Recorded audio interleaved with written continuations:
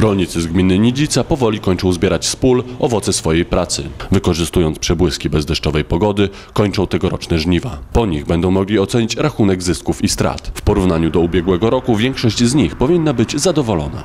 W tym roku żniwa z początku była bardzo dobra pogoda, nieźle sypało.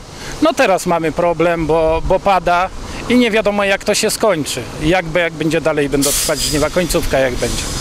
Optymistyczne prognozy co do tegorocznych zbiorów potwierdzają pracownicy elewatora w Nidzicy, do którego od kilku tygodni systematycznie przyjeżdżają rolnicy nie tylko z terenu powiatu. Jakość zboża jest bardzo dobra, dobrej klasy, zboża są konsumpcyjne, e, także rolnicy są zadowoleni z tego, że, że mogą e, zbierać tak, takiej jakości zboże. Trochę e, na dzień dzisiejszy aura psuje im e, zbiór tego zboża ze względu na to, że codziennie są opady deszczu, a każdy chciałby zebrać zboże suche, wtedy dostanie tą cenę e, no, maksymalną, Panująca susza w Ameryce Północnej znacząco przełożyła się na wzrost cen zbóż na światowych rynkach. Dlatego rolnicy z gminy Nidzica przyjeżdżając do elewatora mogą mieć powody do zadowolenia. Mamy najwyższe ceny, jakie są w kraju.